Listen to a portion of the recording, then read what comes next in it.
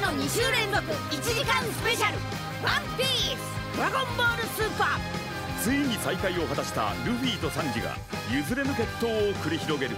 10月1日朝9時からは「ワンピース。最強ライバル第11宇宙ジレンとの限界突破バトルの勝者はどちらになるのか。